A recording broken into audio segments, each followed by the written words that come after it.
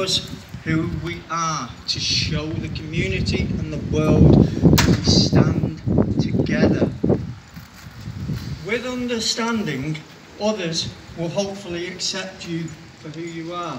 And they might, if you are lucky, support you to be you. So, today we're going to have a fantastic Wirral Pride. I keep going to say New Brighton Pride, so I do apologise. Let's have a fantastic Wirral Pride. Let's show everybody in all the other districts, Liverpool, Warrington, how the people on the Wirral have a party. So have a lovely day.